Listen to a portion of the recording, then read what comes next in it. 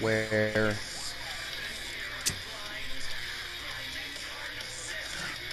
Really? Dude, I just made a fucking glove. That Yeah, you can do that. how the how the fuck is that? How how the fuck is that stealthy? It is literally just it's literally just a bunch of grass and shit on my arm.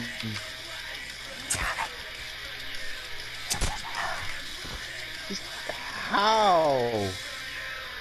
I wasted a bunch of fucking leaves for this. Wait. Oh.